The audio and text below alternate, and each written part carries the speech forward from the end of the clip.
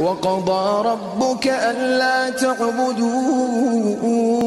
إلا إياه وبالوالدين إحسانا. إما يبلغن عندك الكبر أحدهما أو كلاهما فلا تقل لهما فلا تقل لهما أف ولا تنهرهما وقل لهما قولا